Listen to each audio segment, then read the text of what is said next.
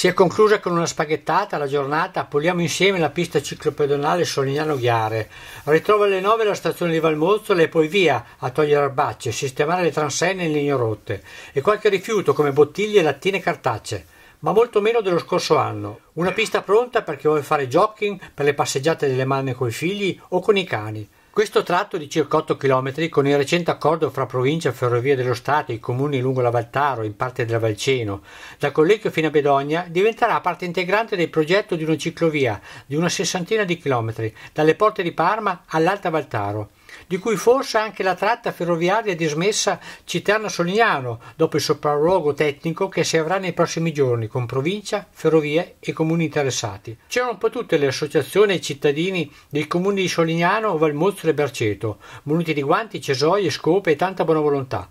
Un volontariato messo in pratica al servizio della comunità. Soddisfazione per tutti, compreso il vice sindaco di Solignano Cristian Lupi, in prima linea a parole e con il decespugliatore.